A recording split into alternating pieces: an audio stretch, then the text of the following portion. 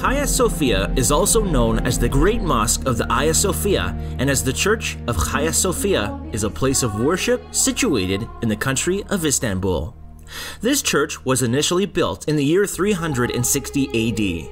Hagia Sophia has been demolished and reconstructed many times in the past, and it is one of the best architecture places of worship in Istanbul. Construction history of Hagia Sophia Hagia Sophia was initially constructed by Emperor Constantine. However, the initial role of the Hagia Sophia was not as a place of worship, but rather it was built to be served as a basilica for the Greek church. The construction of the church was commissioned in the year 360. Constantine was the emperor of the Byzantine Empire, and so the credit of building Hagia Sophia goes to the Byzantine emperor. Initially, the Hagia Sophia was built from woods, and the roof was made entirely out of the wood. However, soon enough the church was burned because of the riots caused by the political conflict in the family of then Emperor Artakidos. The year this occurred was 404. After that, Emperor Artakidos stepped down as the king and was succeeded by the Emperor Theodosius II. He rebuilt the Hagia Sophia and completed the new Hagia Sophia in the year 415. Unlike the previous Hagia Sophia, the new ones had five naves and monumental entrance. However, the roof of the place was still covered with wood. After one century, the Hagia Sophia was again burnt to ashes due to the fire caused by the Nika Revolt. The Nika Revolt was conducted against Emperor Justinian II, who ruled from 527 to 565. After Emperor Justinian II saw the Hagia Sophia burnt, he ordered the reconstruction of the basilica. However, the condition was now so bad that they had to demolish the Hagia Sophia.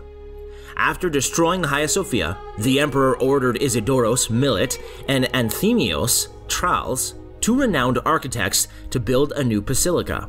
He named it Hagia Sophia, and it was completed in the year 537, within six years. The design of the Hagia Sophia. The initial design of Hagia Sophia and the current standing Hagia Sophia had a contrasting difference.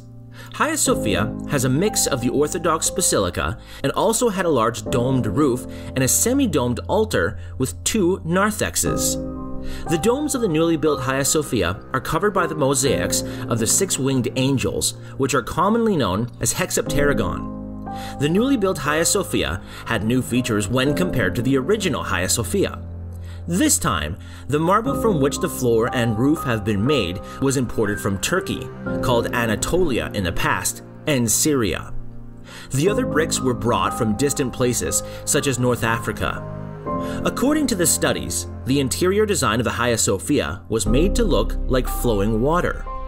The roof of Hagia Sophia was made from wood, and the piers were attached to support the great body of weight of the building. This led to a disbalance of the weight, and the structure almost collapsed due to its weight. The building of Hagia Sophia was completed quickly, and this led to its collapsing again after some time. Next, the builders thought of keeping the dome in place by supporting it with a chain. This led to some problems, and the building again collapsed due to its weight issue. Finally, Isidoros, Millet, and Anthemios Tralles managed to support the roof of the building just like the way it is now. This time, it was more stable, and that has led to the structure lasting for more than 1500 years. Another good thing to notice is that the seating plan of Hagia Sophia was divided into two levels. There were seats at the top and seats at the bottom. This division was done so that segregation of the people could take place according to their gender and class. This makes sure that the rich and powerful people always sat on the top, while the lower and middle class people seated at the bottom when there was an event or service in the basilica. The initial interior design of the Hagia Sophia was quite simple and plain. There were no mosaics in it as there are now. When the new Hagia Sophia was built after the deconstruction of the original one, the murals were added on the walls by various emperors who ruled the empire of present day Istanbul. After the falling of the Byzantine Empire, the Sultan of the Ottoman Empire, Mehmed II, took over Istanbul and he made some changes to the Hagia Sophia. The Sultan and his successors added the four minarets outside the Hagia Sophia and also added new caliph's mosaic in the interior. The pre existing mosaics were all covered by paint, and caliph were added on the pillars. In the years 1847 and 1849, the Hagia Sophia again underwent changes, and Swiss architecture style was added to the Hagia Sophia. This led to the present day Hagia Sophia. The religious history of Hagia Sophia. Initially, the Hagia Sophia was not built as a church, but as a basilica for the church. This all happened in the reign of Constantine and his successors. However, in the year 1453, the Byzantine Empire falls prey to the Sultan Mehmed II of the Ottoman Empire. They took over the Hagia Sophia and made certain changes to its design and its function. From a place where the kings were crowned, the place becomes a worship ground of the Muslim people. Hagia Sophia now.